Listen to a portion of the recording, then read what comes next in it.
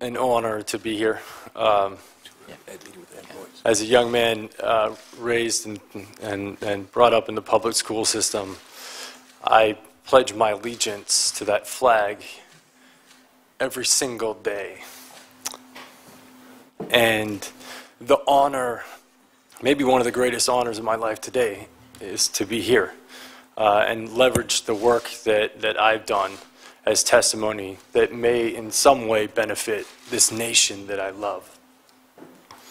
I'd like to start by saying thank you to Chairman Corker for your leadership in this endeavor and to Senator Cardin. Uh, your leadership has been uh, extraordinary, and I'd like to also say thank you to the rest of the committee that has supported this effort. This is a bipartisan effort, and in a country that is riddled with bipartisan separation on so many things, slavery seems to come up as one of these issues that we can all agree upon.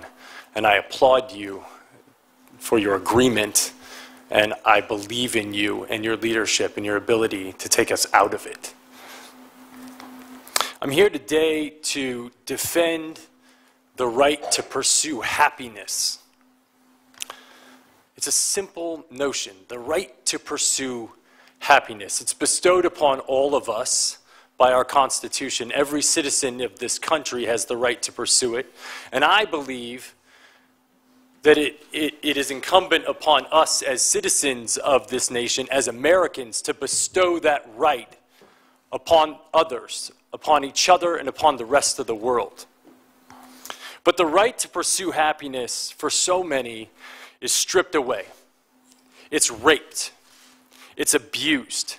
It's taken by force, fraud, or coercion. It is sold for the momentary happiness of another. Now, this is about the time uh, when I start talking about politics that the internet trolls tell me to stick to my day job. Uh, so I'd like to talk about my day job. My day job is as the chairman and the co-founder of Thorn. We build software to fight human trafficking and the sexual exploitation of children. And that's our core mission. My other day job is that of the father of two, a two month old and a two year old. And as part of that job that I take very seriously, I believe that it is my effort to defend their right to pursue happiness and to ensure a society and government that defends it as well. As part of my anti trafficking work, I've met victims in Russia, I've met victims in India, I've met victims that have been trafficked from Mexico, victims in New York and New Jersey and all across our country.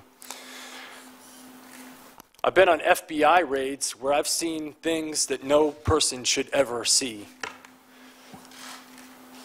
I've seen video content of a child that's the same age as mine being raped by an American man that was a sex tourist in Cambodia. And this child was so conditioned by her environment that she thought she was engaging in play. I've been on the other end of a phone call from my team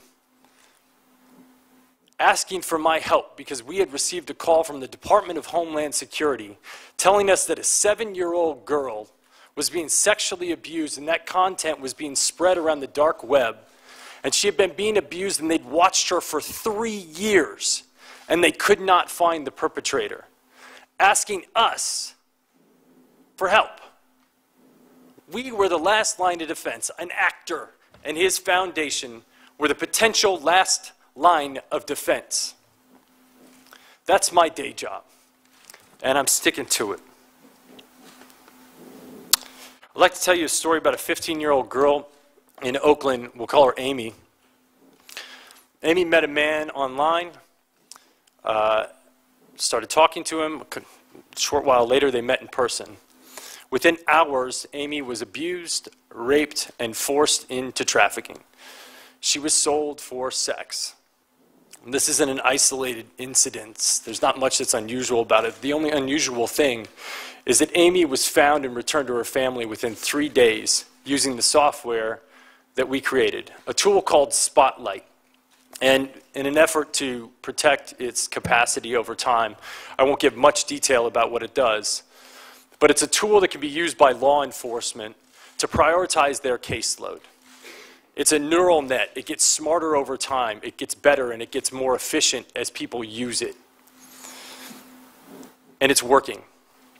In six months, with 25% of our users reporting, we've identified over 6,000 trafficking victims, 2,000 of which are minors. This tool is in the hands of 4,000 law enforcement officials and 900 agencies. And we're reducing the investigation time by 60%. This tool is effective, it's efficient, it's nimble, it's better, it's smarter. Now, there's often a misconception about technology that in some way it is the generator of some evil, that it's creating job displacement, and that it enables violence and malice acts. But as an entrepreneur and as a venture capitalist in the technology field, I see technology as simply a tool, a tool without will. The will is the user of that technology, and I think it's an important distinction. An airplane is a tool. It's a piece of technology. And under the right hands, it's used for mass global transit, and under the wrong hands, it can be flown into buildings. Technology can be used to enable slavery, but it can also be used to disable slavery, and that's what we're doing. I alluded to a phone call that we got from the Department of Homeland Security about this girl that was being trafficked on the dark web. Now, it's interesting to note that the dark web was created in the mid-90s. It was a tool that was created by the Naval Research Lab called Tor, a tool with absolute purpose and positive intention for sharing intelligence communications anonymously. It's also been used to help people who are, are, are being disenfranchised by their government within political dissent in, in oppressive regimes. But on the other side, it's used for trafficking, for drug trafficking, for weapons trafficking, and for human trafficking.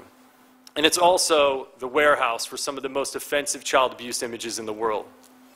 Now, when the Department of Homeland Security called us and asked for our help and asked if we had a tool, I had to say no. And it devastated me it haunted me. Because for the next three months, I had to go to sleep every night and think about that little girl that was still being abused. And the fact that if I built the right thing, we could save her. So that's what we did.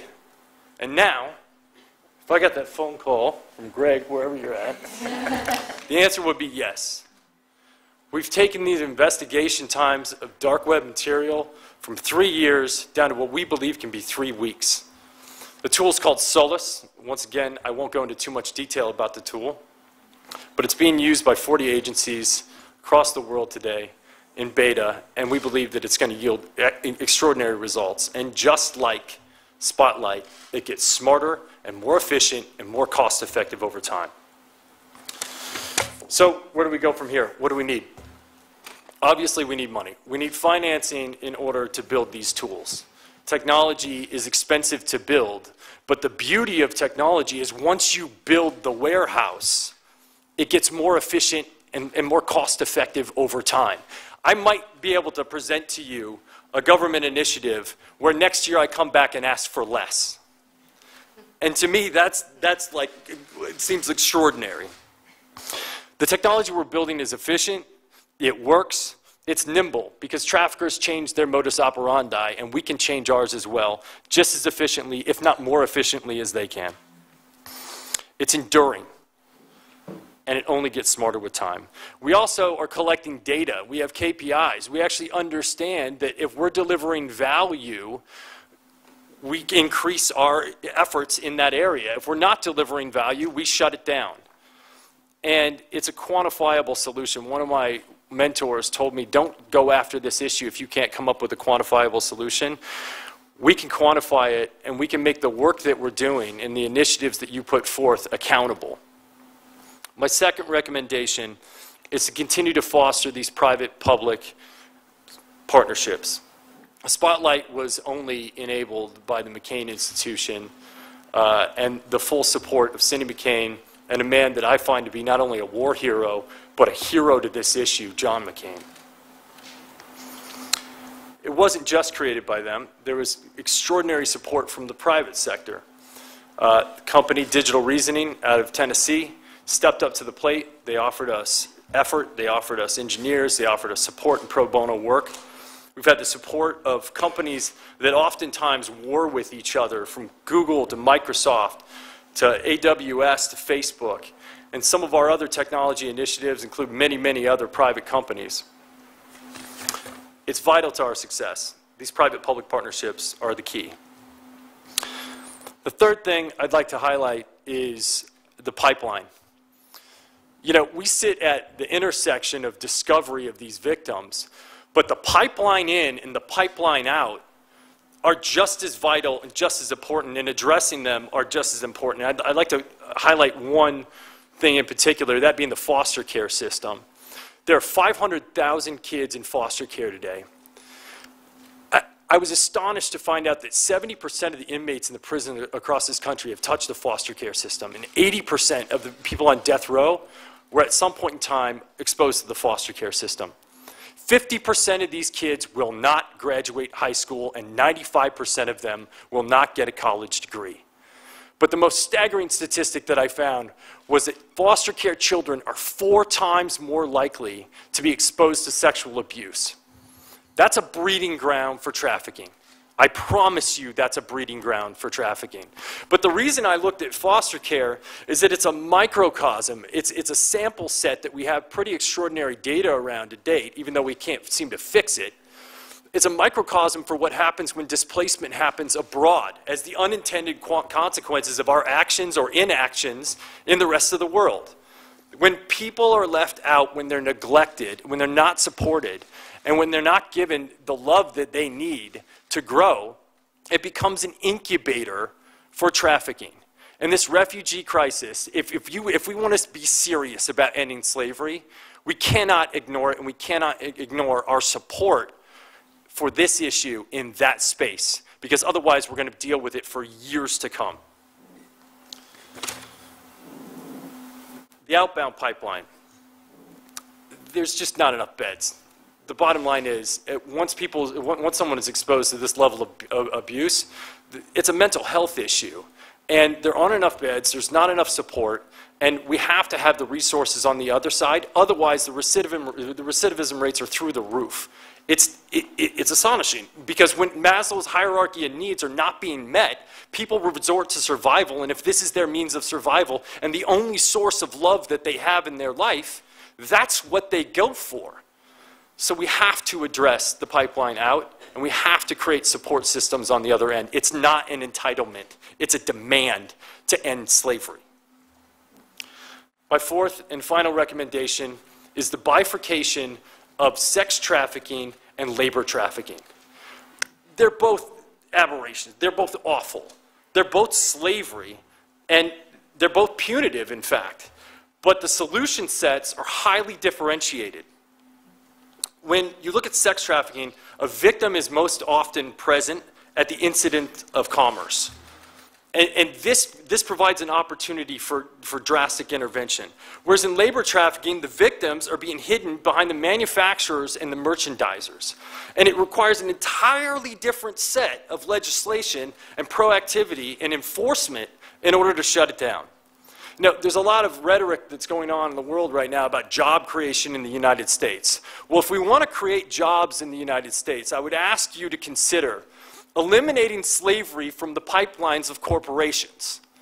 Because a lot of that slavery is happening abroad. And if we ask those corporations under extreme pressure that if you don't change it, you are going to be penalized. And if you don't clean up that pipeline, it's going to mean trouble. And, and they're, they're forced with two decisions. They can either clean up the pipeline abroad, or they can move the jobs to the United States of America where they can be regulated and supported. The, bringing jobs to America can be the consequence of doing the right thing, hmm. or it can be the consequence of doing the wrong thing. But that choice is up to you. Now, it's not lost on me that all of this disruption in our marketplaces is going to have economic backlash. Like, that is not lost on me at all. But I ask you Do you believe that Abraham Lincoln had to consider the economic backlash of shutting down the cotton fields in the South when he shut down slavery? Because I'm sure that weighed on his mind. You know, happiness can be given to no man, it must be earned. It must be earned through, through generosity and through purpose. But the right to pursue it, the right to pursue it is every man's right. And I beg of you that if you give people the right to pursue it, what you may find in return is happiness for yourself. Thank you.